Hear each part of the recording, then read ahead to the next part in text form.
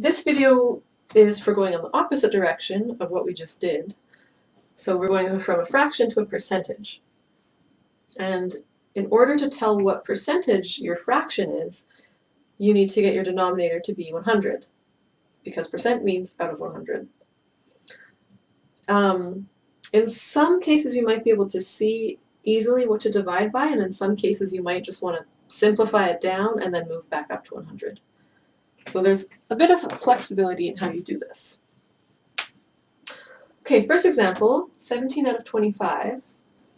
I look at my denominator and I say, what do I need to multiply or divide this by to get to 100? 25 times 4 is 100, so we need to multiply by 4. And if I multiply the bottom by 4, I have to multiply the top by 4 too. 25 times 4 is 100. 17 times 4, I'm going to do 10 times 4 and then add 7 times 4. So 10 times 4 is 40. 7 times 4 is 28. So 68 out of 100. And then we have to write it as a percent. 68 percent. And then I would recommend going back and checking like, okay, 17 out of 25, does that make sense that it would be about 68%? Yeah, that seems fine. Okay, 4 out of 10. So you get 10 to 100, we multiply by 10. So we do the same thing on the top. And we get 40 out of 100, which is 40%. And that makes sense because 4 out of 10 is less than half and 40%. Just kind of makes sense intuitively. Okay, for this one, I am going to simplify the fraction in a way that's easier for me to work with. So I'm just going to remove, I'm going to divide top and bottom by 10, which means I can remove a 0. So now I've got 30 out of 50. So you can simplify your fraction and then work back up to 100 if you want. Now this is a lot easier to do because 50 times 2 is 100. 30 times 2 is 60.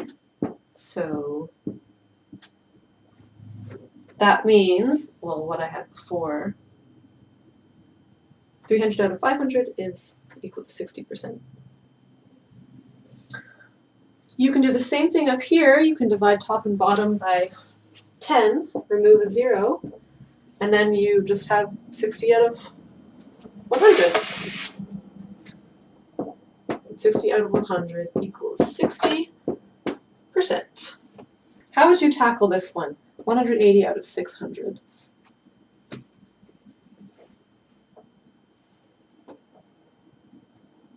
I think I would once again divide the top and bottom by 10.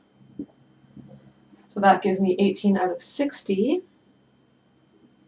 And then I would simplify that more because 60 doesn't go evenly into 100. So 18 and 60 are both divisible by 6. So let's do that. Let's divide top and bottom by 6 and see what happens. 18 divided. Sometimes you just have to trust and try stuff out and see if it gets to a fraction where you can see what to do. Um, and that's what I'm doing right now. So 18 divided by 6 is 3.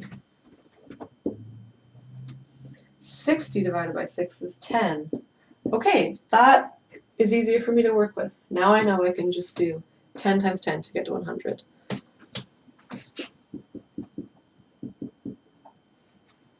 And also, the percentages that are given to you, they're going to work. The fractions are going to work as percentages. So just play around with the fraction until you get something that makes sense to you. So 3 times 10 is 30. 10 times 10 is 100. So 180 out of 600 is equal to 30%. Alright, 64 out of 800. I recognize 64. I know it's divisible by 8. And 800 is also divisible by 8, so I'm going to divide top and bottom by 8.